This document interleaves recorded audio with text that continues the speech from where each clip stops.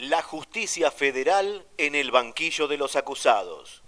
El abogado del Movimiento Ecuménico por los Derechos Humanos de Mendoza, Pablo Salinas, presenta este jueves 15 de junio a las 17 horas en el aula magna de la Facultad de Ciencias Políticas y Sociales de la Universidad Nacional de Cuyo su nuevo libro, La Justicia Federal en el banquillo de los acusados, donde recorre el camino realizado por la justicia desde los fundamentos y antecedentes históricos de la aplicación del régimen del terrorismo de Estado hasta su juzgamiento.